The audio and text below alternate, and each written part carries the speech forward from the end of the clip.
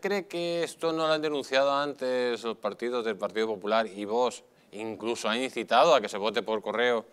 Porque de alguna forma, eh, si esto se demuestra que es verdad, el sistema se, se cae como un azucarillo eh, con agua. Yo no creo que, a ellos les guste meterse en ese berenjenal, entre otras cosas, sobre todo con... A ver, vamos a ver lo que va a suceder el, miércoles. El PP, teniendo una postura como tienen em, oficialista, meterse en este berenjenal de cuestionar la legitimidad de unas elecciones no lo veo yo.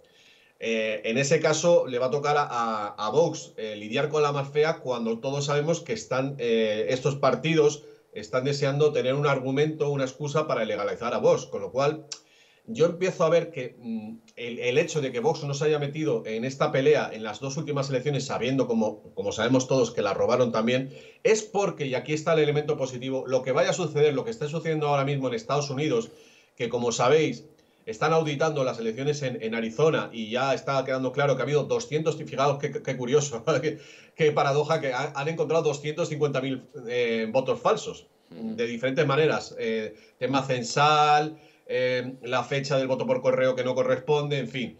Entonces, al calor de lo que esté sucediendo en Estados Unidos, el, meollo, el, lío que se va a montar en Madrid y por extensión en España a raíz del fraude del próximo martes, que evidentemente no se va a resolver en un día ni en dos, eso, eso va a traer cola porque evidentemente aparecerán pruebas, testimonios, en fin, va a ser un lío. Pero eh, la diferencia es que seguramente las próximas semanas va a quedar en evidencia que eh, Joe Biden, los demócratas, el Partido Socialista de allí, robó las elecciones, con lo cual, el, digamos, los tambores que estamos moviendo ahora, si me entendéis la, metáfora, van a, tener repercusión y van a tener un eco en lo que sucede en Estados Unidos, con lo cual mucha gente que no se podía imaginar que se pudieran robar unas elecciones, lo van a, por lo menos, a, contemplar como una posibilidad, y eso es positivo.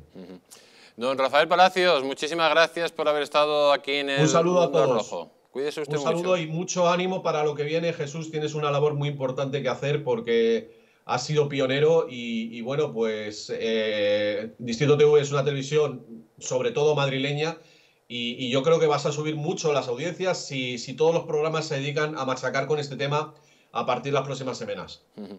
Muchísimas gracias, Rafael. Y sabes que formas parte de, este equipo y, de, que esta es tu casa. Pues encantado de escuchar esas palabras. Pues vamos a